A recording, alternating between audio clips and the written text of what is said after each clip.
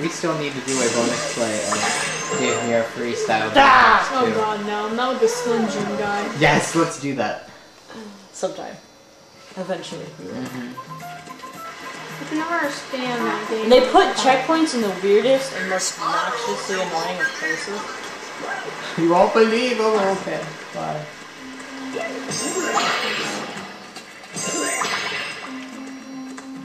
Also, their crossbows are the slowest things in the universe. You can watch the arrow sail past you and run around them if you desire. They're so hard. They're, they're, That is not how crossbows work, people. crossbows are fast I and even ask why they keep smiling even as you're beating them up. I'm so happy to be dying, finally. Whoa, what is this? First person view, because I'm cheating a little bit. You're supposed to activate the platforms and then jump across them, but it's much easier to just stand on the platform, aim down, and then activate the platform. Clipping issues.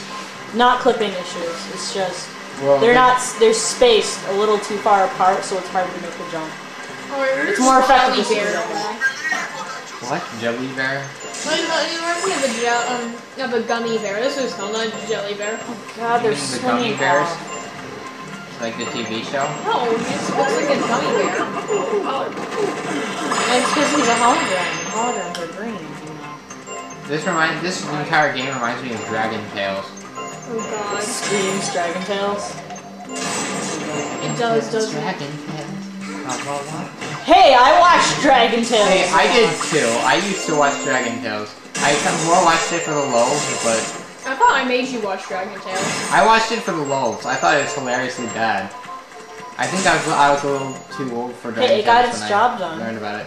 I suppose. I don't remember if I actually. I think I, I remember watching about three episodes. I don't really. I used to watch it all the time. I think it's one of those things where it was on at a convenient time. Yeah, it, it was on a convenient time, but it was also kind of hilarious for all the wrong reasons. Namely, it was just really Oh, bad. by the way, if you jump over the fence, you die. What? If you jump over the fence and then land in the water, you immediately die. Why? Is there like, s- is that water not? You just do it. Explosion. Okay. It's, it's not. It's, you just do. Oh, you know what I think is the best is the best way to die in a game?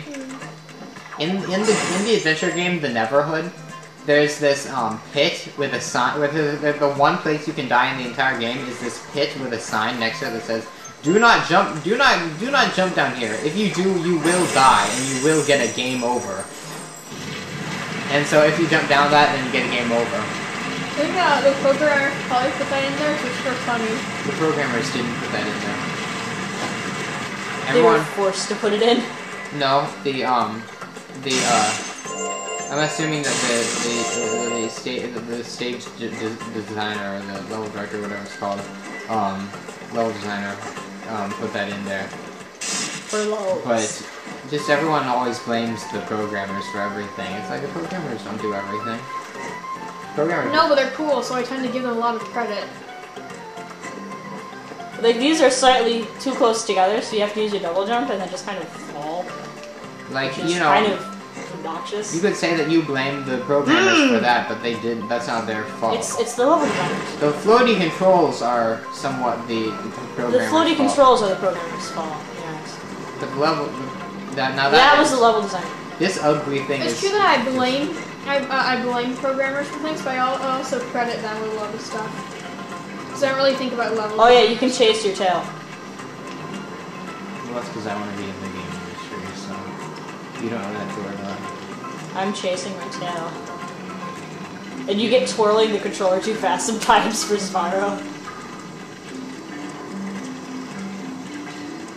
Come back here, my What's that? What are those question marks that here?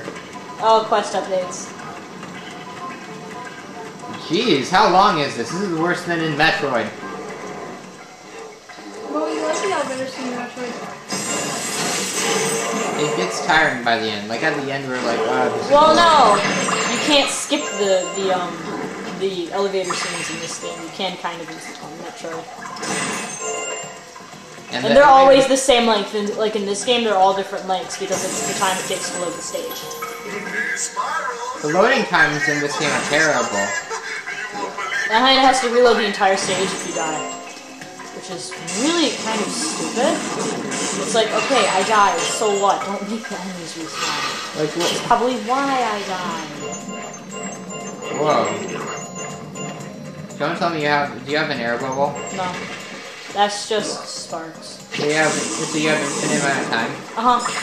That's He can hold his breath. He breath. has gills. Where the heck am I? End of discussion. Yeah. Tomorrow has gills. Actually, he has like a little miniature air tank inside him. Uh-huh. They're called lungs. They have these weird things called lungs. Ever heard of them? Goodbye, people!